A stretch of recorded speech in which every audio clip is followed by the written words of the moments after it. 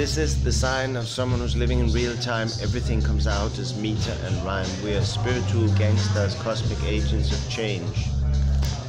Enjoying every moment of our ADHD diagnosis. Attention dial to higher dimensions. We have a lovely retreat center in Ibiza. And love, lots of love. Goddesses, beautiful, beautiful beings.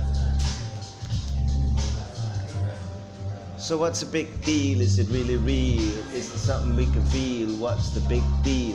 What's a big hit? Is it really it? Or perhaps a sign of rotten wine? The milk has to flow and we all have to go cause we don't wanna be rotten, we don't wanna be forgotten. The milk has to flow and we all have to go cause we don't wanna be rotten and we don't wanna be, don't wanna be forgotten.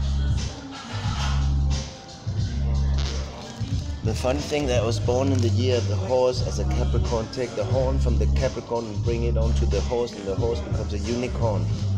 Because I was born in the year of the fire horse. I was born Leo rising. I am the lion. Leo rising. Socializing.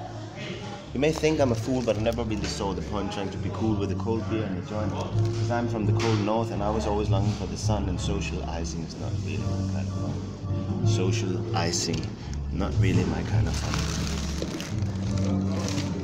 Scrapped. Scrap. S C R A P. S for science, P for culture, R for religion, A for art, P for philosophy. Scraps. Add the spirit, the S for spirituality. You got the actuality